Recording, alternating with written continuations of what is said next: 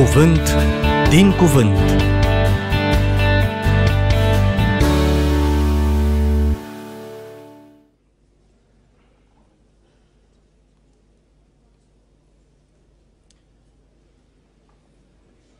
Hai să îți spun ceva. Tu nu ești aici azi la întâmplare. Dumnezeu te-a adus în locul acesta pentru că El, Domnul, are o lucrare specială cu tine în aceste zile. Și știu că deja în mintea ta și în inima ta sunt frământări, sunt întrebări, sunt gânduri, sunt lucruri care apasă acolo în lăuntru tău. Să fii culoarea minte la cuvântul lui Dumnezeu. Să lași pe Duhul lui Dumnezeu să susure acolo în lăuntru tău și să-ți arate, să-ți descopere ce are să te învețe, ce are să-ți ceară, ce vrea să schimbe, ce vrea să transforme. Și aseară și dimineața au fost două sesiuni minunate și slăvit să fie Domnul pentru tot ce ne-a dăruit până aici în cadrul conferinței. Lucru care aș vrea să-l pui în inima ta și lucru pentru care aș vrea să mă rog de la bun început este ca în cele ce urmează, El, Domnul, însuși Domnul, să coboare în lăuntrul tău cu lumina lui Sfântă, să curățe de acolo praful, paianjenii, nu știu ce este înăuntru, nu știu ce o să găsească acolo, oricum tot ce este lunecos și lipicios să fie curățit. Și dincolo de cuvintele mele, dincolo de rostirile pe care eu le voi avea, Dumnezeu să aibă un cuvânt relevant, profetic pentru tine. Amin. Tema despre care urmează să vorbim este mai importantă decât un pas pe lună. Așa cum ați auzit, este vorba de puterea Duhului Sfânt. Puterea Duhului Sfânt. Vă rog să binevoiți să deschideți Sfânta Scriptură la Evanghelia după Ioan. Evanghelia după Ioan vom citi trei versete din capitolul 7. Ioan, capitolul 7, versetele 37, 38 și 39. Vă rog să vă ridicați înaintea lui Dumnezeu și să ascultăm cu multă luare minte, pentru că, dragi tineri, surori și frați, doamnelor și domnilor, așa vorbește Domnul. În ziua de pe urmă, care era ziua cea mare a praznicului, Iisus a stătut în picioare și a strigat, dacă însetează cineva să vină la mine și să bea. Cine crede în mine, din inima lui vor curge râuri de apă vie, cum zice Scriptura. Spunea cuvintele acestea despre Duhul pe care aveau să-L primească cei ce vor crede în El, căci Duhul Sfânt încă nu fusese dat, fiindcă Isus, Isus, nu fusese încă proslăvit. Amin. Vă rog să vă așezați.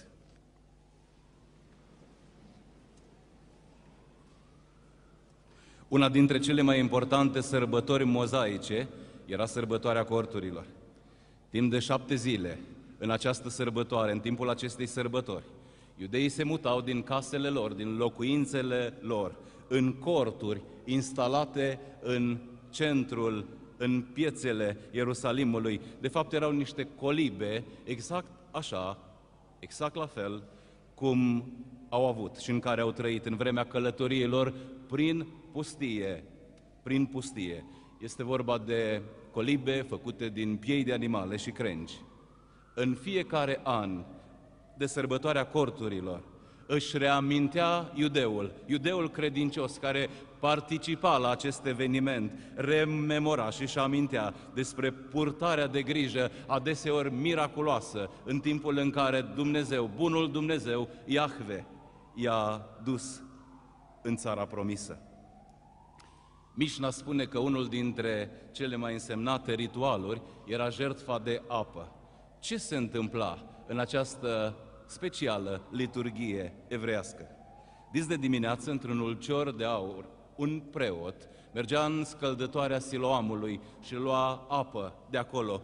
Aducea apa o aducea în curtea templului și acolo poporul, când îl vedea că se apropie, poporul aflat acolo la închinare, care participa la sărbătoare, cânta din trâmbiță și începea să ovaționeze venirea aceasta și îi aduceau slavă și îi aduceau laudă și cu toții îl onorau pe Dumnezeu cântând o cântare care este consemnată în Isaia 12, spune acolo versetul 3, veți scoate apă cu bucurie din izvoarele mântuirii și veți zice, lăudați pe Domnul, chemați numele Lui, vestiți lucrările Lui printre popoare, pomeniți mărirea numelui Lui, cântați Domnului, căci a făcut lucruri strălucite să fie cunoscute în tot pământul. Iudeul credincios se înfiora din cap și până în picioare în acele momente. Oare ce simboliza acel ritual? Ce se întâmpla? Marele preot turna încetul, încetul apa din ulcior ca jertfă de apă închinată Domnului. Și lucrarea aceasta, jertfa aceasta, avea o dublă semnificație. Să vedem care.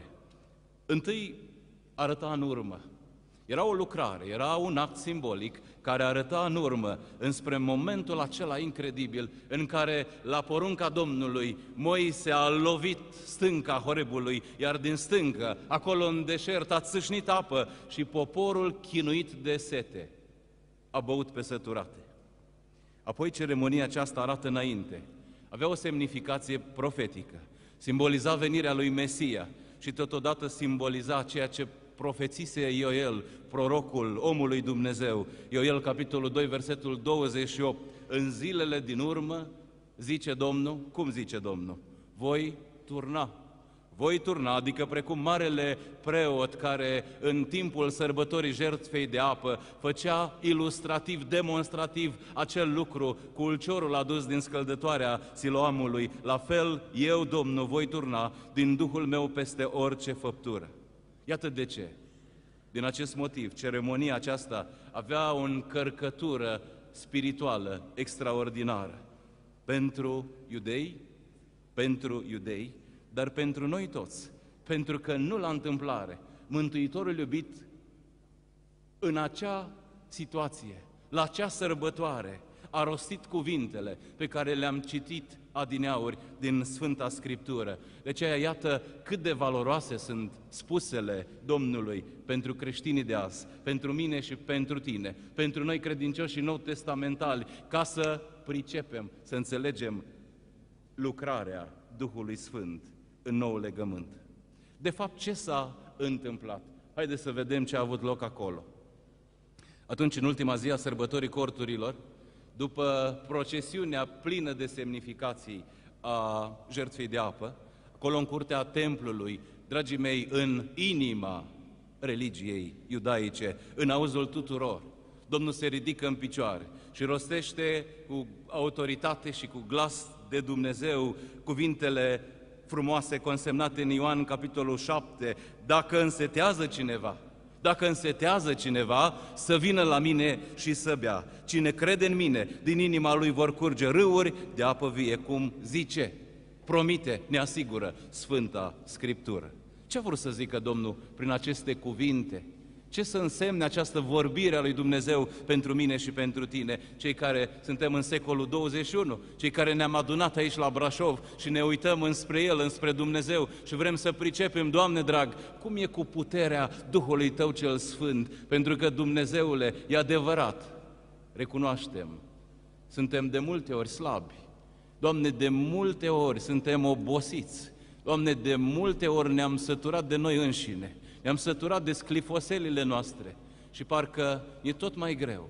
Și, Doamne, Tu vorbești de viață din belșug și Tu vorbești despre putere, Doamne. Vreau să o activez și în viața mea. Cum să fac? Dacă însetează cineva, nu înseamnă că ar putea exista cineva aici de față sau oriunde în lume care să nu înseteze.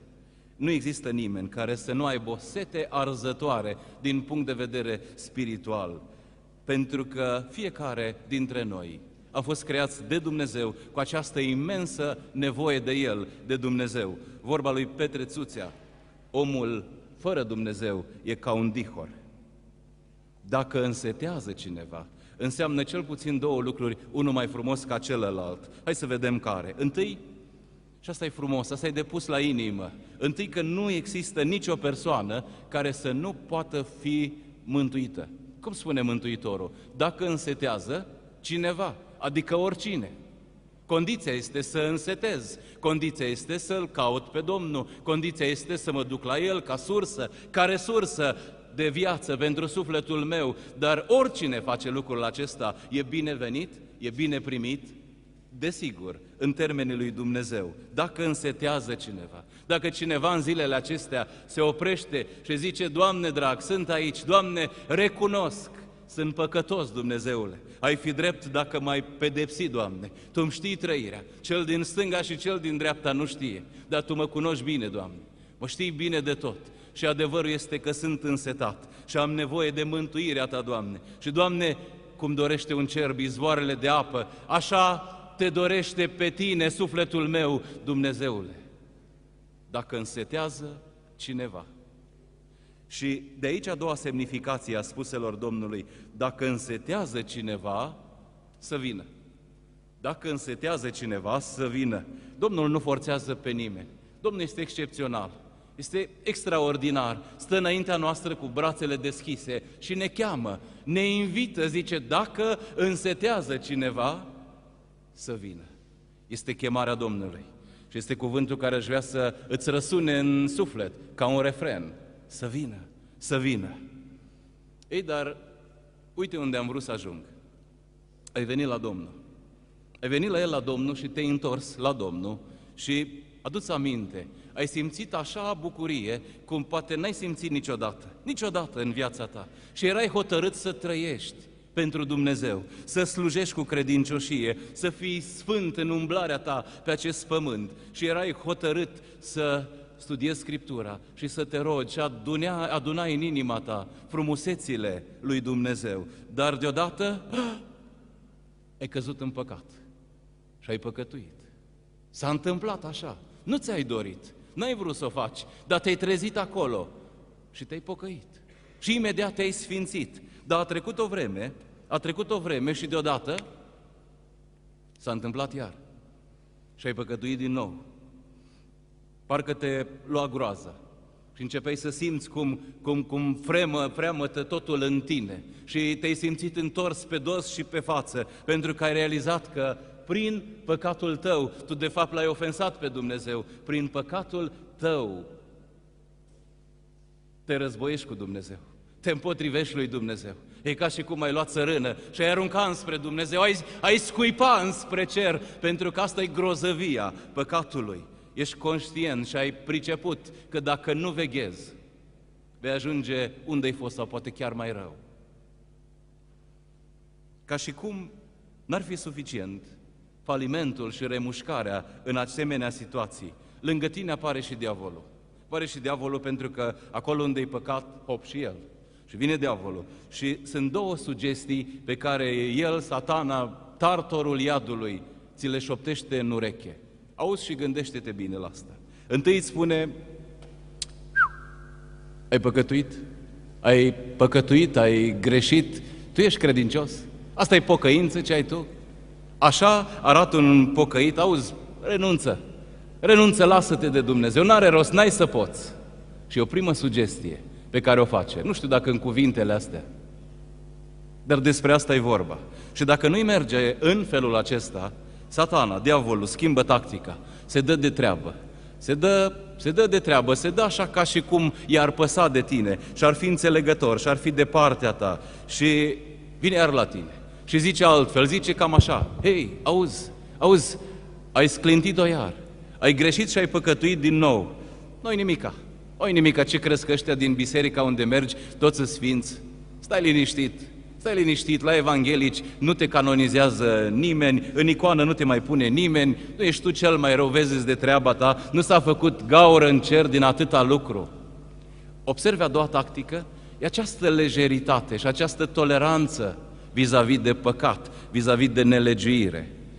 Din nenorocire, și știm bine asta, din nenorocire, unii îl cred pe satana.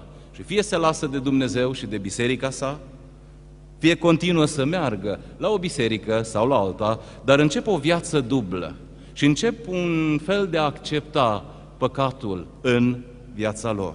Și chiar dacă rămân religioși, își păstrează religia lor, vai, vai, vai, pasiunea începe să se stingă încetul cu încetul, nu le mai palpită în suflet nimic sfânt, nimic uh, special, nimic pentru Dumnezeu, devin reci ca o sobă fără foc, se simt tot mai goi și mai vlăguiți din punct de vedere spiritual. Ați experimentat așa? Cunoașteți oameni care trec prin astfel de simțiri și de experiențe? Ei bine, într-o astfel de situație, te oprești și zici, Doamne, oare ce am pierdut pe drum? Doamne, am plecat hotărât să fiu al Tău și numai al Tău și mă văd că nu sunt bine deloc. Oare ce am pierdut pe drum, Doamne? Ce se întâmplă cu mine de nu mai trăiesc plenar și umblu de-a bușelea prin viață, Doamne, și, Doamne, sunt nemulțumit și mă uit la mine și din punct de vedere spiritual gâfâi, sunt cu limba scoasă, Doamne, tot ceea ce eu trăiesc, numai viață din belșug nu este. Izbaterea celui credincios, izbaterea celui temător de Dumnezeu, care, dacă există, e semn bun, e semn că viața încă palpită acolo. Aici de mare ajutor ne este Efeseni, capitolul 2. Și aș vrea să vedeți de ce. Și cei care aveți Scriptura, să ne uităm un pic în Efeseni, capitolul 2. Vă rog să ascultați cu multă luare minte. Întâi versetul 1. Spune cuvântul așa. Voi erați morți în greșelile și în păcatele voastre în care trăiați odinioară. Acum, ce înseamnă a fi mort din punct de vedere spiritual, din punctul de vedere al lui Dumnezeu? Ce înseamnă a fi mort? Cum trăiam, Doamne, odinioară? Păi uite în versetul 2 și versetul 3, în care trăiați odinioară, după mersul lumii acesteia, după Domnul puterii văzduhului, al Duhului care lucrează acum în fiii neascultării, între ei eram și noi toți odinioară, când trăiam cum? În poftele firii noastre pământești. De unde greșeam? Ce făceam? Ce făceam? Partea a doua versetului 3. Făceam voile firii pământești și ale gândurilor noastre. Ale gândurilor noastre. Aveam apucăturile noastre vinovate, păcătoase, înspre nelegiuire, ale gândurilor noastre. Și aș vrea să sesizați, o să stați pe text acasă. Vă spun eu acum, există aici în cuvântul acesta, să-i spunem, hai să-i spunem așa convențional, odioasa treime, odioasa treime. Cine o compune? Lumea? Unu, lumea. Doi, diavolul. Trei, firea noastră pământească. Trebuie să-ți cunoști dușmanii. Dacă vrei să știi cu cine te lupți, ca să știi care ți-e strategia și care e strategia lui Dumnezeu. Cu această odioasă treime avem de-a face fiecare. Zic încă o dată, lumea, diavolul, firea pământească. Dragii mei, lumea, diavolul și firea pământească acționează știți unde? Uite aici, Uite aici e frontul de luptă. Prima dată aici acționează la nivelul minții, la nivelul gândurilor noastre. Aici se duce bătălia. Transmițând acolo gânduri, gânduri ostile lui Dumnezeu, gânduri care urmăresc să ne facă slugile trupului, sclavii acestui pământ. Dar de partea cealaltă, de partea cealaltă, dincolo de ceea ce am numit odioasa treime, este Sfânta treime, da? Cine? Tatăl, Fiul, Duhul Sfânt, Triunul Dumnezeu, mărit să fie numele Său. Amin. Care ce face? Ce face? Sunt tot în Efeseni. Citesc versetul 4 și versetul 5. Dar Dumnezeu, care este bogat în îndurare, pentru dragostea cea mare cu care ne-a iubit, măcar că eram morți, morți în greșelile și în păcatele noastre, ne-a adus la viață împreună cu Hristos. Prin har suntem mântuiți. Aleluia! Asta a făcut Dumnezeu pentru cel care l-a căutat și pe cel, pentru care s-a, cel care s-a întors la el, la Domnul. Pavel, stai un pic. Cum ne-a dus la viață? Ce s-a întâmplat? Aș vrea să înțeleg. Ce spune Apostolul? Împreună cu Hristos împreună cu Hristos. Cu alte cuvinte, atunci când prin pocăință și prin credință ne-am întors și ne-am lipit de Domnul, s-a întâmplat o mare minune. 1 Corinteni, capitolul 6, versetul 17. Cine se lipește de Domnul, devine un singur duh cu El. Wow! Wow! Știi ce înseamnă asta? Pur și simplu, Duhul tău mort de până atunci noi eram morți în păcatele și în greșelile noastre, Duhul tău mort de până atunci, când te întorci la Domnul, se unește, se cuplează cu Duhul Sfânt și are loc minunea minunilor, adică are loc aducerea la viață a Duhului din punct de vedere spiritual a acelui om, slăvit să fie Domnul. Are loc ceea ce numește Scriptura naștere din nou, are loc ceea ce spune cuvântul lui Dumnezeu, devii locuit de Duhul Sfânt. Amin, amin. Bun. Numai că avem următoarea problemă și aș vrea să fiți atenți aici. Pentru că ai putea să spui așa, ce bine m-am întors la Dumnezeu, sunt al Domnului, sunt născut din nou, am Duhul Sfânt, nu mai am nicio grijă, nu mai îmi pasă de nimic. E o logică greșită. E o logică greșită și nu-i deloc așa. Poate că ceea ce o să-ți spun acum nu o să-ți convină. Dar eu sunt aici nu ca să-ți fiu simpatic, nu ca să-ți prezint un creștinism roz și atractiv, ci să fiu slujitorul Domnului și să o fac cinstit. De aceea ascultă bine ce spun. Când ne-am întors la Dumnezeu, e valabil pentru mine și pentru tine. Când ne-am întors la Dumnezeu, într-un sens, viața noastră s-a complicat. Într-un sens, viața noastră s-a complicat. Păi, de ce așa? Când eram morți în greșelile și în păcatele noastre, aveam în mintea noastră doar o singură categorie de gânduri, care, evident, gândurile pământești, acele gânduri accesate și accelerate de lume și de diavol. Dar întorcându-ne la Domnul, o, o, când te uiți în lăuntru tău, descoperi în mintea ta descoperi în lăuntru tău încă o categorie de gânduri. E vorba de gândurile de la Sfânta Treime. Și într-un fel asta ne complică viața. Într-un fel asta ne complică viața. Într-un fel asta ne poate face să spunem, Doamne, nu te supăra. Doamne, dar dacă sunt născut din nou, Doamne, Doamne, dacă am Duhul Sfânt, de ce uneori mi se pare așa de greu să te urmez? Doamne drag, dacă sunt născut din nou și spui limpede în Scripturi că toate s-au făcut noi, că cele vechi s-au dus, Doamne, am această întrebare și această frământare care mă doare și vreau să o aflu și vreau să știu de ce uneori mi-e atât de greu să aleg binele, Doamne, deși știu ce am de făcut. Doamne, de ce uneori am această înclinație înspre a păcătui? De ce alte ori, Doamne, mărturisesc chiar păcătuiesc. Nu cumva, de fapt, nu sunt născut din nou? Nu cumva, de fapt, Doamne, nici n-am Duhul Sfânt? Dragii mei, iată cum se dezleagă enigma. E adevărat, spune Sfânta Scriptură, că cel credincios este născut din nou, că în viața lui toate s-au făcut noi, cele vechi s-au dus și toate s-au făcut noi. Dar tot Scriptura vorbește despre o excepție, știți care? Care? toate s-au făcut noi, mai puțin ce? Mintea. Mai puțin mintea, mai puțin mintea. Sunt în Roman, capitolul 12, versetul 2, spune să nu vă potriviți chipului viacului acestuia, ci să vă metamorfozați, să vă transformați, să vă prefaceți prin înnoirea minții voastre. De ce? Ca să puteți deosebi bine voia lui Dumnezeu cea bună, plăcută și desăvârșită. Fraților, dragi tineri, este o treabă de o viață întreagă, să ne înnoim mintea. Să ne înnoim mintea. Da, suntem născuți din nou dacă ne-am întors la Domnul, dar rămâne de lucrat pentru fiecare dintre noi înnoirea minții, păzirea minții. Și foarte, foarte important acest lucru. Mintea e acel lucru de a cărui înnoire trebuie să ne ocupăm întreaga viață. Mintea, mintea. Și aș vrea să dărâm acest mit și aș vrea să mă auzi bine.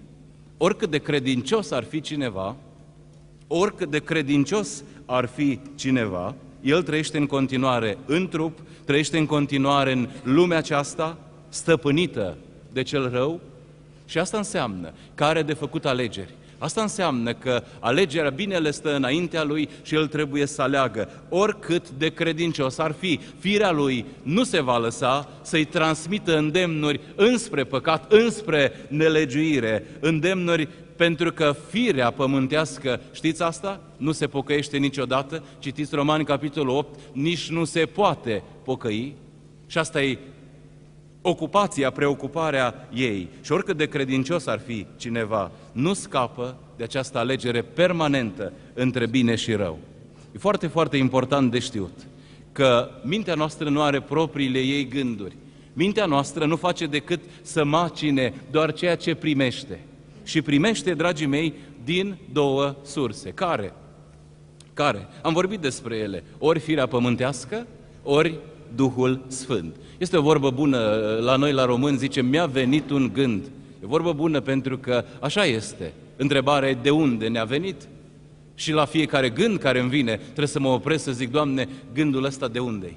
Gândul ăsta de unde -i? E bine, alegerea pe care, de care nu scapă nimeni ca să o facă între cele două voci ar putea părea grea. Și uneori poate chiar este grea. Dar ce har să avem Sfânta Scriptură.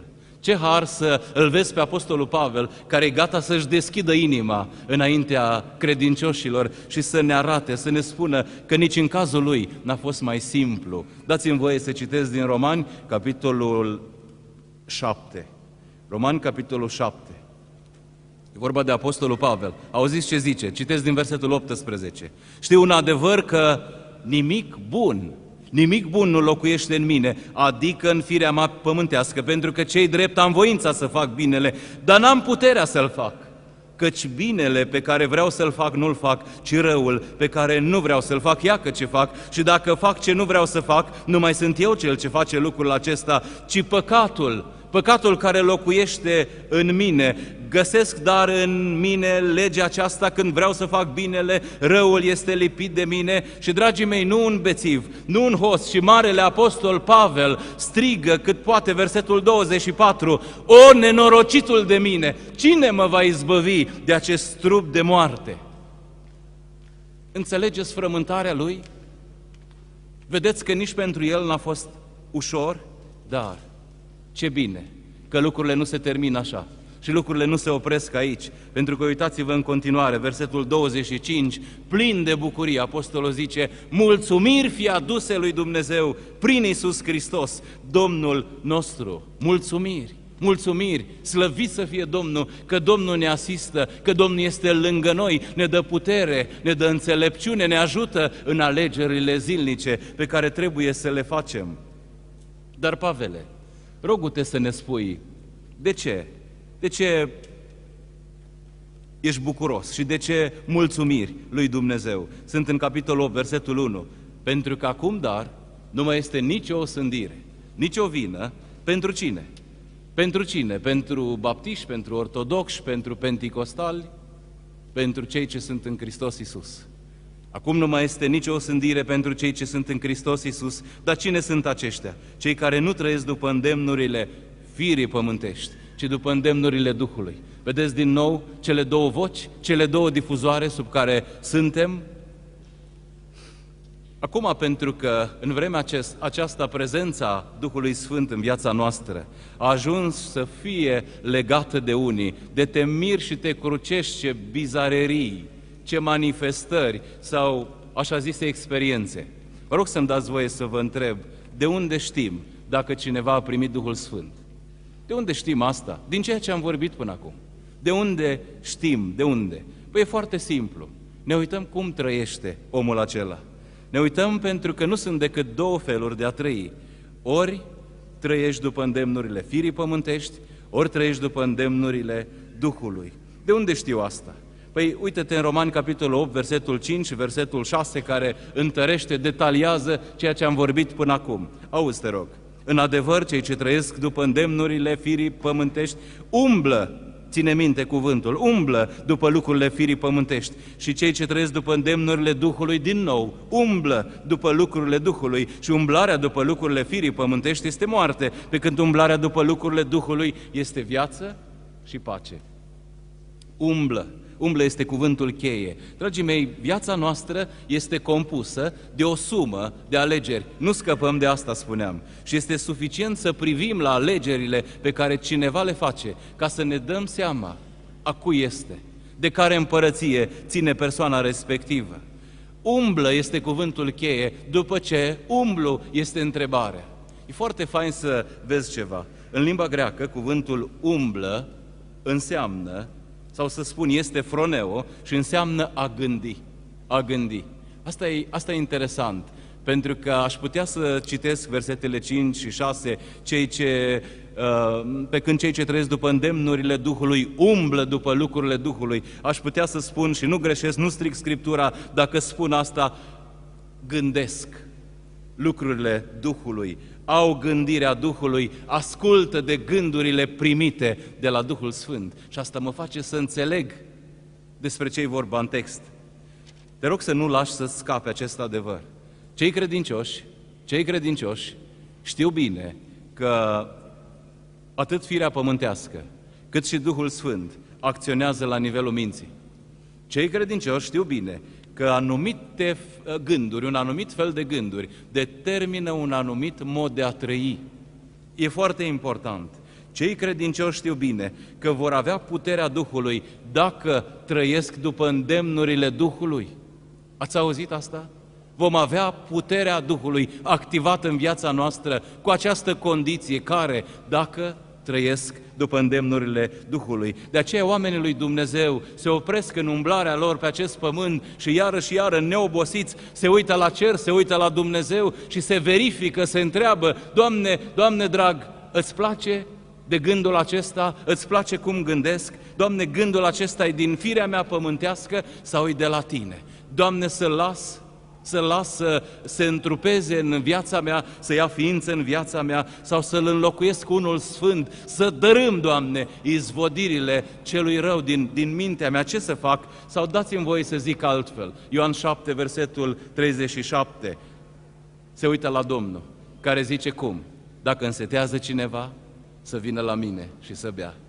Se uită la Domnul și îl caută pe Domnul și caută apa apa aceea sfântă, apa aceea vie, pe care doar Domnul, doar Hristos poate să ne-o dea. Vă rog să auziți bine aceste cuvinte ale Domnului. Dacă însetează cineva, adică oferta Domnului nu este doar pentru ucenici, oferta Domnului nu este doar pentru, pentru câțiva inițiați, nu este pentru o elită religioasă, ci pentru oricine însetează. Cum spune Mântuitorul, dacă însetează cineva, adică oricine, și poate fi vorba de tine aici. Dacă însetează cineva, adică oricine, ce să facă? Ce spune Domnul? Să vină la mine. E foarte important. Trebuie să mă opresc aici și trebuie să mă auz. Să vină la mine, la Domnul, nu la Duhul Sfânt. Nu. Nu la Duhul Sfânt, la Hristos. Nu la Duhul Sfânt. Pentru că nu există o Evanghelie a Duhului Sfânt. Există Evanghelia lui Hristos. Evanghelia Domnului Hristos, nu Duhul Sfânt este capul de afiș al trezirilor spirituale, al vieții din belșug, dar cine? Hristos. Hristos Domnul, pentru că spune Scriptura, Ioan 16, versetul 14, că Duhul nu se proslăvește pe sine, Duhul proslăvește pe Hristos, nici nu se simte bine când Duhul este scos în față ostentativ. Aceasta e slujba Lui, una discretă, El arată înspre Hristos. Domnul, de aceea am spus, la Hristos mă uit, Duhul e al lui Hristos, spune Pavel în Roman, cine n-are Duhul lui Hristos, nu este al lui, evident, al lui Hristos. Aici în Ioan 7, versetul 39 ne explică Ioan că era vorba despre Duhul Sfânt, pe care știți cine avea să-l primească? Cum se primește Duhul Sfânt? Cine avea să-l primească? Ce spune Ioan în Evanghelia sa? Aveau să-l primească cei ce cred în El. Am citit în cele trei versete de la început. Dragii mei, căutarea aceasta obsesivă a puterii Duhului Sfânt, auziți cum zic, separată despărțită de Hristos, e nebiblică și deci periculoasă. Căutarea aceasta obsesivă a puterii Duhului Sfânt, despărțită și separată de Hristos, e periculoasă. Un creștin plin de Duhul lui Dumnezeu, nu vorbește prea mult despre experiențele sale, nu vorbește prea mult nici despre Duhul Sfânt, ci vorbește despre Hristos, despre Hristos Domnul. O, da, trebuie, avem nevoie de Duhul lui Dumnezeu, dar pentru asta nu pe Duhul Sfânt trebuie să-L caut, dar pe cine? Pe Hristos pe Domnul Isus Hristos, pentru că Duhul Sfânt lucrează în unitate și în armonie cu Sfânta Treime. Duhul Sfânt se revelează doar împreună cu Tatăl și cu Fiul. E o imensă prostie să poți să spui, să ajungi să spui că poți să-L ai pe Hristos, dar încă nu ai Duhul lui Hristos. E o imensă prostie și o amăgire fără margini să crezi că ai Duhul lui Hristos, pentru că nu știu ce ai simțit sau nu știu ce zici tu că ai experimentat în timp ce trăiești în neascultare de Hristos. Nu se poate așa. Nu așa lucrează Dumnezeu. El nu coboară în vase murdare. Dacă coboară, arde, pârjolește, topește. Sfințenia Lui nu se împacă niciun fel cu păcatul și cu nelegirea. De aceea avem nevoie de pocăință. Și atunci, Doamne, ce-i de făcut? N-ai auzit? N-ai auzit? Ce a spus Domnul? Dacă însetează cineva, să vină la mine și să bea. Și să bea. O, dar cum tare aș vrea să știu ce înseamnă a bea. Aș vrea să știu, Doamne, și aș vrea să înțeleg ce înseamnă abia, cum să bem, Dumnezeule, pentru a ne potoli setea sufletului. Notați, vă rog, țineți minte, nu e greu, dar e extrem de important. Abia înseamnă a crede. Abia înseamnă a crede. Dar de unde știm asta? Păi ne-a spus-o Domnul. Am citit deja, Ioan 7. Ce ne-a spus Domnul? A zis, dacă însetează cineva, să vină la mine și să bea. Și te aștepta în logica normală a frazei, să-L auzi pe Mântuitorul spunând, cine bea, cine bea, din inima lui vor curge râuri de apă vie. Dar cum spune Domnul? Dacă însetează cineva să vină la mine și să bea, cine crede în mine, din inima lui vor curge râuri de apă vie. Dar de ce spune așa? Simplu. Pentru că în mintea lui, abia așa crede sunt sinonime. Abia înseamnă egal a crede. Acum poate zice adevărat. E adevărat, recunosc că mi-am mai pierdut din dragostea din tâi. Trebuie să recunosc asta. Însă e doar o perioadă în care sunt mai ocupat și mai obosit și mai aglomerat. Dar vreau să-ți spun că, de fapt, în inima mea eu cred. Să, să știi că sunt încă credincios. Aici aș vrea să-mi dai voie să zic așa. Nu, nu crezi. Nu, nu crezi. Pentru că ce a spus Mântuitorul? Cine crede în mine, din inima lui vor curge râuri de apă vie. Vorbea despre Duhul Sfânt, ne explică Ioan. Cine este credincios, râurile de apă vie țâșnesc din inima lui. Duhul lui Dumnezeu este prezent cu putere în viața lui. Și vreau să spun asta apăsat, pentru că Dumnezeu nu m-a pus aici să văruiesc morminte, ci să propovăduiesc cuvântul. Și cuvântul său spune că dacă n-ai putere și dacă n-ai pasiune, nu crezi. Nu crezi. Faci bine dacă te faci mic acolo la locul tău, pentru că despre asta e vorba. Despre asta e vorba. Dacă n-ai putere și n-ai pasiune, nu crezi. Ai doar o formă de evlavie. Dacă n-ai putere și n-ai pasiune, ai doar o glazură religioasă. Ce să faci pentru ca în tine să se vadă puterea și pasiunea în ceea ce privește trăirea și slujirea ta? Să bei. Să bei din apa pe care ți-o dă Hristos. Să bei, să bei, adică să te încrezi în Hristos, asta am văzut că înseamnă abia, să primești și să folosești apa vie a lui Hristos, adică resursa de viață pentru sufletul tău. Doamne, ajută-ne așa. Amin. Imediat trebuie să spun asta și trebuie să lămurim asta. Și vreau să știu care este apa aceea pe care ne-o dă Mântuitorul. Care este? Am înțeles, merg la Hristos, am înțeles, trebuie să beau, Doamne drag, dar care e apa aceea pe care trebuie să o iau în pumn și să-mi satur sufletul de ea? Mă întorc din nou, mă întorc din nou aici în text, Ioan 7. Ce spune versetul 38 și 39? Auziți, cine crede în mine, din inima lui vor curge râuri de apă vie, cum zice Scriptura, și mai departe spunea cuvintele acestea despre Duhul pe care aveau să-l primească cine? Cei ce vor crede în El.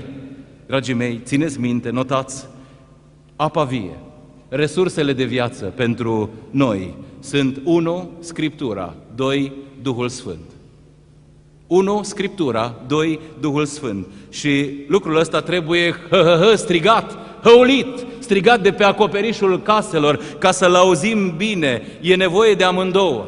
Atenție, atenție la amândouă. Duhul Sfânt nu funcționează fără Scriptură. Scriptura nu funcționează fără Duhul Sfânt. Ferească Dumnezeu să caut să le separ. Ferească Dumnezeu să încerc să am una fără cealaltă. De unde știu asta? Hai să vă dau un verset. Efeseni 6 cu 17 spune sabia Duhului este cuvântul lui Dumnezeu. Care este instrumentul de lucru al Duhului Sfânt? Duhul Sfânt nu lucrează separat de cuvânt, cuvântul nu lucrează separat de Duhul Sfânt. Dragii mei, apa vie pe care o dă credincios, Hristos celor credincioși este cuvânt și Duh. Duh, Sfânt și cuvânt. nici putere, puterea Duhului fără Scriptură. Asta e o credință emoțională. O să o întâlniți, e tot mai des întâlnit în zilele noastre. O credință excesiv emoțională, o credință care caută experiențe, o credință care validează cu ușurință, te mir ce lucruri, te mir ce lucrări, te mir ce întâmplări, care fac un scop în sine din manifestarea 1, 2, 3, nu știu câteva daruri spirituale, dar care omoară, fără Scriptură, omoară, de unde știu? Ioan 5 cu 39 spune Mântuitorul, cercetați Scripturile, pentru că în Scripturi, în cuvânt, aveți viața. Cuvântul este viață. Cuvântul este viață. Dar nu am terminat aici, auziți mai departe. Nici Scriptură fără puterea Duhului. Asta e o credință intelectuală. Știi cum e asta? Studii peste studii. Învățătură peste învățătură. Dar nu spune Scriptura că slava omoară? Slava fără Duhul, slova fără Duhul omoară? Slova fără Duhul omoară, ba da? Vedeți de ce trebuie să meargă împreună? Fraților, fără Scriptură și fără Duhul, fără amândouă, fără doar una dintre ele, suntem morți. Suntem morți pentru că împreună Scriptura și Duhul sunt apa vie, hidrogenul și oxigenul, dacă îmi permiteți metafora, al apei vii. De aceea Domnul a spus odată, știți cum? Hmm, vă rătăciți. Vă rătăciți și există acest pericol pentru fiecare. În ce condiții? Când, Doamne? Unu, vă rătăciți, pentru că nu cunoașteți nici Scripturile, doi, nici puterea lui Dumnezeu. Cele două trebuie să meargă neapărat împreună. Vrei să știi ce să faci ca să nu te rătăcești? Vrei să știi? Mai întâi să cauți să cunoști Scriptura. Și apoi să cauți să o împlinești. Și apoi să cauți să o împlinești. Pentru că doar așa vei experimenta puterea Duhului Sfânt în viața ta. Doar așa, numai așa. Altfel spus să vii la Hristos și să bei. Și aici te rog să bași bine de seamă, să vin la Hristos, să vină la mine și să bea, este o poruncă și este o activitate continuă și este o realitate în care trebuie să, la care trebuie să mă întorc zi de zi, în fiecare moment, în permanență. N-ajunge să bei pe săturate la această conferință. E bine că ești aici. E bine că te saturi din lucrurile lui Dumnezeu, dar trebuie să înveți să bei în continuare din Dumnezeu. Asta ne cere El. Și întrebarea este, de ce trebuie să bem iară și iară, zi de zi? Oare de ce? Aici e buba. Aici e buba, pentru că noi suntem vase sparte. Noi suntem vase găurite. Noi nu putem stoca puterea lui Dumnezeu. Cum n-aș scoate înaintea ta din jobene purașul să-ți arăt cum să stochez puterea lui Dumnezeu? Aș ține-o pentru mine, aș activa-o în viața mea, dar puterea lui Dumnezeu nu o poate stoca niciunul dintre noi. De aceea, din nou și din nou, trebuie să ne ducem la Hristos, trebuie să bem din apa vie pe care ne-o dă El, care e aceea din cuvântul Lui și din Duhul Lui, iară și iară, adică să trăim în dependență de Hristos, într-un cuvânt credință într-un cuvânt credință, să ne încredem în El. Ajută-ne, Doamne! O, da, vreau să spun limpede asta. Vrea Dumnezeu să avem Duhul Sfânt. Ne trebuie Duhul lui Dumnezeu. Dar știi ceva? Și sper ca acest adevăr să pătrundă adânc în sufletul tău. Auzi, vei avea Duhul Sfânt doar dacă Duhul Sfânt te are pe tine. Vei avea Duhul Sfânt doar dacă El, Duhul Sfânt, te are pe tine. Duhul Domnului nu este o forță impersonală, la cheremul, la discreția mea, ci este o manifestare supranaturală a cerului, a lui Dumnezeu, a împărăției cerurilor în viața celui credincios. Spune frumos în 1 Corinteni 12, versetul 7, descriind lucrarea Duhului Sfânt, arătarea Duhului, manifestarea Duhului în viața celor ce cred în Domnul. Chiar dacă încearcă unii să-l închidă în țarcul lor religios, religios, Duhul Sfânt nu poate fi prins de nimeni, nu poate fi ținut de nimeni, absolut de nimeni. În ebraică ruach, în greaca veche pneuma, înseamnă aer în mișcare, înseamnă literar vânt, vânt, cu alte cuvinte ceva invizibil ceva imaterial, ceva care, la fel ca vântul, cum îi zice Domnul lui Nicodim, Nicodime, vântul suflă încotro vrea și, și îi auzi vuietul. Îi auzi vuietul, adică poate fi perceput doar prin efectele sale. Poate fi perceput doar prin efectele sale. Ei, dar cine știe? Care sunt efectele Duhului Sfânt, prezenței Duhului Sfânt în viața noastră. Care sunt efectele acestea? Nu-i greu. Ne spune cuvântul lui Dumnezeu că sunt două categorii de efecte. Le numește Scriptura 1, roada Duhului, 2, darurile Duhului. Roada Duhului Sfânt, darurile Duhului Sfânt. Ce înseamnă ele? O să zic repede. Roada Duhului înseamnă a fi. Darurile Duhului înseamnă a face. Roada Duhului înseamnă caracter. Darurile Duhului înseamnă a sluji. Roada Duhului înseamnă împlinirea marii porunci. Care e aceea? Să iubești. Darurile Duhului înseamnă împlinirea marei trimiteri. Care e aceea? Duceți-vă. Duceți-vă și slujiți, duceți-vă și faceți ucenici. Dragii mei, încercarea despărțirii roadei Duhului de darurile Duhului, trebuie să folosesc din nou acest cuvânt, este periculoasă. Să viți culoarea minte la asta. Din păcate, o asemenea atitudine păguboasă găsim, regăsim, vedem prin adunări, prin biserici. Pe unii veți auzi vorbind neîncetat despre daruri. Și nu despre toate, dacă s-ar putea doar despre câteva, două, trei, patru, așa zis, de putere, daruri. E vorba de acea credință excesiv emoțională, credința aceea în care, în care omul caută să simtă, în care tot ceea ce îl preocupă pe el este, știu și eu, niște experiențe, niște experiențe izolate, ocazionale, de entuziasm, să simt, nu știu, să mă gâdele, să mă furnice, este o asemenea credință și este o asemenea căutare. Alții greșesc în alt fel. Zic tot timpul roadă. Roadă, roadă, ignorând darurile. De fapt, pun accentul pe o credință excesiv intelectuală. Aminții și atât. Numai gura de ei. Spun, dar nu fac. Spun, dar nu fac. Să am capul mare. Să știu, să știu, să cunosc eu toată buchia. Există o asemenea categorie de credincioși și un asemenea pericol, dar când îi pui sub lupa atenției și te uiți la viața lor, s-ar putea să constați că și unii și alții sunt firești, și unii și alții sunt doar religioși. Dincolo de ceea ce spun că au, sau se laudă că au, sau afirmă că au, te uiți bine la ei și îi vezi neputincioși din punct de vedere spiritual, și îi vezi superficiali, și îi vezi de puțin folos împărăției lui Dumnezeu, și îi vezi că până la urmă trăirea lor scârție, adică roada Duhului, slujirea lor la fel, adică darurile Duhului. De ce ne dă Dumnezeu Duhul Sfânt? Ca să ne ciondănim de la El, ca să ne ciorovăim de la Duhul Sfânt, ca să facem paradă că El ne-a dat și că avem și că noi putem și alții nu pot și alții n-au. Ferească Dumnezeu, Duhul este unul pentru trăire, doi pentru slujire, unu pentru trăire, adică roadă, roada Duhului, doi pentru slujire, adică daruri, dar, darurile Duhului. Și îngăduiți-mi să argumentez cu două pasaje biblice. Pentru trăire avem Ezechiel 36. Spune prorocul, profetul lui Dumnezeu, sunt cuvintele Domnului pe care Dumnezeu le pune în gura lui. Voi pune în voi un duh nou, este promisiunea Duhului Sfânt pentru nou legământ și modul în care va lucra Dumnezeu nou legământ. Voi pune în voi un Duh nou, voi pune Duhul meu în voi și voi face ce? Să urmați poruncile mele, să păziți și să împliniți legile mele. Adică vă voi da putere capacitate să trăiți în sfințenie, să trăiți frumos, să trăiți credincioși, să fiți lumina lumii, să fiți starea pământului și să vadă această lume bezmetică și întoarsă cu spatele la mine, că voi sunteți altceva, că puterea mea este cu voi și să dorească să fie ca voi, să mă caute pe mine. Este țelul lui Dumnezeu. Trăire, roada Duhului, dar nu numai atât, slujire. Slujire, adică daruri. Și aici lăsați-mă să citesc din Faptele Apostolilor.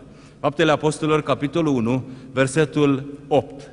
Voi veți primi putere, despre asta vorbim, da? Voi veți primi o putere, o putere. Când se va pogorâ Duhul Sfânt peste voi, de ce? Ca să-mi fiți martori ca să mă mărturisiți, ca să mă slujiți. Și iată planul. În Ierusalim înveți fi martori, în Ierusalim, în Iudeea, în Samaria și până la marginile pământului. Pentru ce ne dă, Duh, ne dă Dumnezeu puterea sa? Pentru ce ne dă Dumnezeu puterea sa? Ca să fim niște vedete bisericești? Ca să ne fălim unii față de alții, nu ci pentru a-L mărturisi pe Hristos lumea acesteia fără Dumnezeu, pentru a fi martori ai Săi și să o facem cu putere și să o facem cu eficiență și neobosiți și să impactăm lumea aceasta fără Dumnezeu nemântuită și nimeni și nimic, nici măcar moartea să nu ne poată opri și așa râvnă să avem și așa pasiune să avem pentru Dumnezeu, așa încât Domnul să, să se proslăvească prin trăirea și prin slujirea noastră și să ne ducem, să ne ducem și ducându-ne, să se împlinească ceea ce Dumnezeu a spus și a promis, duceți-vă și eu voi fi cu voi, cu toată puterea care mi-a fost dată în cer și pe pământ, vă voi asista, iată că eu voi fi cu voi și cei care se duc, cei care se duc experimentează și văd lucrări însoțitoare, și ducerea lor este dublată de astfel de lucrări însoțitoare, de semne și minuni. Dar vreau să zic asta și trebuie să auziți, dragii mei, cea mai mare minune, minunea minunilor, minunea căreia se sub, sunt subordonate toate celelalte, este care? Mântuirea altora. Mântuirea altora. Exact despre o asemenea realitate vorbește Hristos în discursul său. Dați voie să vă reamintesc ce a spus Domnul? Dacă însetează cineva, să vină la mine și să bea. Cine crede în mine, auziți, din inima lui vor curge râuri de apă vie. Cum zice Scriptura, vorbea despre Duhul Sfânt, vor curge râuri de apă vie. Dragii mei, râuri de apă vie curg din inima noastră a celor credincioși către semenii noștri însetați, pentru că iată minune, iată lucru care te face să îți stea mintea în loc. Tu bei pe săturate, din Dumnezeu, tu bei pe săturate și atunci tu ești mântuit. Dar nu-i doar pentru a fi tu mântuit această lucrare, ci este și spre mântuirea altora și spre potolirea setei altora, pentru că mulți sunt însetați în această lume. Spune în 1 Corinteni 12 cu 7, vorbind despre același lucru, că arătarea Duhului, arătarea, manifestarea Duhului prin noi este spre folosul altora spre folosul altora, din inima celor plini de Duhul lui Dumnezeu, din inima celor plini de Cuvântul lui Dumnezeu, vor curge râuri de apă vie. Și nu doar pic, pic, pic, nu doar cu țărita, ce Domnul a spus, cine crede în mine din inima lui, lui vor curge râuri de apă vie, adică va erupe din inima lui înspre alții ca un vulcan, ca un vulcan, resursă de viață, resursă de mântuire, fără să poți opri fără să poți opri lucrul acesta, va țâșni ca un geyser din inima celui credincios, Duhul Sfânt, Cuvântul lui Dumnezeu, apa vie de care vorbim, se va întâmpla, dacă vreți, la fel cum s-a întâmplat cu Ioan și Petru, când în fața Sinedrului, cei de acolo l-au chemat și au spus, auzi, auziți, nu avem nimic cu voi, vă lăsăm în pace, dar vrem să vă rugăm ceva să taceți. Opriți-vă din a vorbi, opriți-vă din a-L mărturisi pe Hristos ăsta al vostru. Ce au spus ei? Ce au spus? Păi au spus așa, noi nu putem, noi nu putem, chiar dacă am vrea, noi nu putem să nu vorbim despre ceea ce am văzut și despre ceea ce am auzit. Nu, nu trebuie să slujești. Nu trebuie să-L mărturisești pe Hristos. O vei face dacă ești al Domnului. Nu, nu te trimite nimeni. Nu ești obligat. O vei face, va fi bucuria ta, va fi scopul tău, țelul tău în această viață. Aceasta e minunea. Tu îți potolești setea spirituală și se va întâmpla, cum a spus Mântuitorul, sunt vorbele Lui, în viac nu-ți va fi sete, dar totodată din inima ta vor curge înspre semenii tăi râuri, râuri de apă vie. Vei fi o sursă, o resursă de viață. Pentru însetații din jurul tău vei fi o albie în care apa vie va ajunge la această lume, vei fi o putere, un pol de influență spirituală acolo unde te-a așezat Dumnezeu, între vecinii tăi, colegii tăi, în familia ta, spre mântuirea multora și spre slava lui Dumnezeu. Puterea Duhului Sfânt, chemarea lui Dumnezeu. Iată de ce aș vrea să te rog să-mi spui ce e în inima ta? Ce e în inima ta? Ai auzit vorbind, dincolo de ce am vorbit eu aici, să știi că important este ceea ce tu trăiești și deciziile tale de aici încolo. Asta e cu adevărat important. Momentul cu adevărat important abia urmează. Când te oprești o clipă și te uiți în lăuntru tău și te întrebi așa, ce în inima mea? ce acolo? Cum arată în lăuntru meu? Este o băltoacă urât, mirositoare, clocită, de care nu se poate apropia nimeni? Cum e acolo? Cum arăți tu pe dinăuntru? Ce văd cei din jurul tău?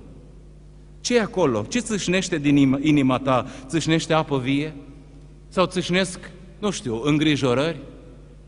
Răutăți de tot felul? Țâșnește, țâșnește nemulțumire? Țâșnește vorbire de rău? Țâșnește minciună? Țâșnesc pofte? ce în inima ta? Sunt glume murdare? Este mândrie acolo? Una peste alta ai păcat? Păcat, păcat? ce în inima ta? ce în inima ta? Este un izvor curat de apă vie? Un izvor curat de apă vie? Poate că te-ai rugat pentru putere și pentru trezire. Mulți o fac, e aproape la modă să te rogi pentru trezire în ziua de astăzi. E aproape o modă, dar nu s-a întâmplat nimic. Și te-ai uitat în viața ta și nu s-a întâmplat nimic sau, hai să zic, mare lucru nu s-a întâmplat. Aș vrea să spun ceva. Bagă bine de seamă. Creștinism nu înseamnă așteptarea ta după Duhul Sfânt. Ne scoatem asta din minte odată. Ne scoatem asta din minte odată. Creștinism nu înseamnă așteptarea ta după Duhul Sfânt, ci așteptarea Duhului Sfânt după tine. Pentru că Dumnezeu ne dă cu bucurie împărăția. Cum nu ne va da fără plată împreună cu El, cu Hristos, toate lucrurile? Toate lucrurile e gata să ne le dea Dumnezeu. Nu Duhul întârzie să vină la tine, tu întârzii să te duci, să te întorci la Dumnezeu, să vii la Dumnezeu. Problema nu e să-L înduplești pe Dumnezeu, să-ți dea Duhul Sfânt, ca și cum n-ar vrea, n-ar vrea să ți-l dea.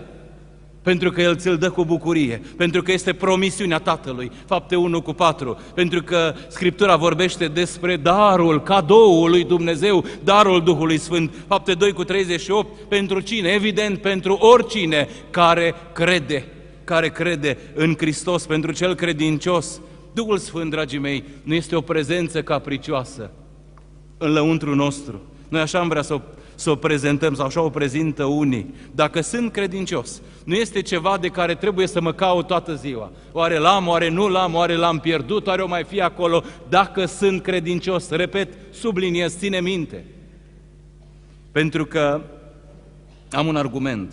Duhul Sfânt este o prezență sigură. Biblia vorbește despre legea Duhului de viață legea Duhului de viață. Duhul de viață acționează, legea asta înseamnă iară și iară, iară și iară. Asta înseamnă lege, se manifestă cu putere, se manifestă fără excepție, dar este totuși o condiție. Cum zice Pavel în Romani, legea Duhului de viață în Hristos Iisus. În Hristos Iisus, care e condiția? Condiția este să rămân în Hristos Iisus, cum rămân în Hristos Iisus, prin ascultare de El prin credință rămân în Hristos Iisus, cei care rămân în acest perimetru de ascultare în Hristos Iisus se pot bucura de putere, de pasiune, de prezența Duhului Sfânt. Înțelegi acum? Înțelegi de ce uneori n-ai puterea Duhului Sfânt? De ce n-ai? De ce n-ai? Ce ai înțeles? Am să spun de ce. Pentru că ești singur vinovat. Pentru că numai și numai din cauza ta, când ești slab, când ești slab, când, când, când spui, Doamne, Doamne, ă, ă, ajută-mă, Doamne, roagă-te cum vrei Tu, dar să știi că Tu ai ajuns din vina Ta în starea aceea. Pentru că ai început să te obișnuiești cu păcatul. Pentru că prin păcatul tău de care nu te pocăiești, să mă înțelegeți bine, păcatul de care nu te pocăiești, a ieșit din spațiul acela în care operează legea lui Dumnezeu, legea Duhului de viață, adică a ieșit din Hristos și trăiești superficial. Trăiești superficial, trăiești amestecat, când după îndemnurile Duhului, când după îndemnurile firii, pentru că te amăgești că ai putea sluji la doi stăpâni. Pentru că te gândești că poți ajunge în cer, chiar dacă umbli pe două cărări ca la beție, și pe cea lată și pe cea îngustă. Pentru că în subconștientul tău deja ai decis deja ai decis să nu-ți schimbi religia, să rămâi un om religios, nu știu, să te duci, să te mai duci la o biserică, să mai te rogi, să mai asculți predici, dar să fii tolerant cu păcatul. Netrăind, neslujind Domnului, ce să facem? Ce să facem? Fie ca aceste cuvinte să răzbată prin aer ca niște electroșocuri, dacă însetează cineva să vină la mine și să bea, spune Mântuitorul. Ce să facem? Ce să facem este întrebarea de final pe care aș vrea să o pun în inima ta. Ce să facem? Știi că această mare întrebare, e o întrebare bună, foarte bună, și această mare întrebare a fost rostită și a fost spusă în ziua de Rusalii, o găsești în fapte 2, în ziua pogorârii Duhului Sfânt. Ce spune acolo? Ce să facem? Fraților, ce să facem? După ce au auzit aceste cuvinte, ei au rămas străpunși în inimă și au zis lui Petru și celorlalți apostoli, fraților, ce să facem? Ce să facem? Ce spune Petru? Știți ce spune? Pocăiți-vă. Ce să facem? Pocăiți-vă. Pocăiți-vă pentru că păcatul este supapa, supapa de golire a puterii spirituale. Pocăiți-vă pentru că pocăindu-ne, pocăindu-ne, Duhul lui Dumnezeu va coborâ în noi și își va arăta slava, se va manifesta arătarea Duhului spre folosul altuia. Pocăiți-vă și, dragii mei, lăsați-mă să vă mai spun o dată, opriți-vă din a vă văicări. Doamne, sunt slab. Doamne, n-am putere, vai de mine, vai de capul meu și roagă-te altfel. Nu te ruga așa ca și cum ar fi vina lui Dumnezeu. Zi altfel, zi, Doamne, sunt păcătos. Doamne, sunt vinovat. Doamne, ai fi drept dacă mai strivi ca pe o muscă. E doar vina mea, Doamne, e neascultarea mea, Doamne. Doamne, mă opresc și te întreb ce nu-ți place la mine. Doamne, ce am făcut? Unde sunt vinovat și greșit, Doamne? Că am întristat Duhul Sfânt sau poate l-am stins. Doamne, ce să fac? Ai fi drept, Doamne, dacă mai face una cu pământul. Dar în ziua aceasta vreau să te rog, ai milă de mine, păcătosul. Doamne Iisuse, mi-e sete de Tine. Doamne Iisuse, mi-e sete de Tine. Mă arde pe dinăuntru setea de Tine, Doamne, și mărturisesc că Te iubesc și mărturisesc că Te doresc, Doamne. Doamne, Te rog să-mi umpli mintea de cuvântul Tău și Te rog să-mi umpli sufletul și inima de Duhul Sfânt, pentru că am nevoie de amândouă. Doamne, drag, dă-mi apa vie și împrospătează-mă pe dinăuntru. De aceea am bătut drumul până la Brașov, din toate colțurile țării, ca să Te văd, Doamne ca să te aud, Doamne, ca să simt cum Duhul Sfânt coboară în mine, Doamne, și îmi răcorește inima și îmi răcorește sufletul. Doamne, nu foc străin, ci foc din cer, te rog, Doamne, pentru că, Doamne, Tu ești apa vieții. Doamne, drag, Tu ești pâinea vieții. Doamne Dumnezeule, Tu ești calea, adevărul și viața. Tu ești lumina lumii, Tu ești luceafărul strălucitor de dimineață. Tu ești păstorul cel bun, Tu ești mielul lui Dumnezeu care ridică păcatul lumii, Tu ești leul din seminția lui Iuda, Cel ce ai murit și ai înviat, Doamne, Cel ce a fost făcut pentru noi sfințelepciune, neprihănire, sfințire și răscumpărare, Cel ce ești același ieri, azi și în veci, Cel care ține toate lucrurile prin puterea cuvântului Tău, Cel atotputernic, Cel care are toată puterea în cer și pe pământ. Ce să facem, fraților? Ce să facem? Spune Scriptura și, Doamne, cu tremură inima noastră cu acest adevăr. Pocăiți-vă, să ne pocăim. E partea noastră, e treaba noastră, iară și iară, să ne pocăim zi de zi, să ne pocăim. Ce să facem? Să ne pocăim, să ne pocăim fiecare din voi să fie întâi pocăit, apoi botezat și apoi? Apoi nu știe, nu, nu, nu, nu cine știe, nu că s-ar putea, nu că, că nu se știe, nu că ar exista niște tehnici pentru aceasta, ci este sigur și este promisiunea lui Dumnezeu. Auziți, vă rog. Apoi, cuvântul Domnului, fapte 2 cu 38, veți primi, veți primi darul Duhului Sfânt. A Domnului să fie slava și a noastră ascultare. Amin.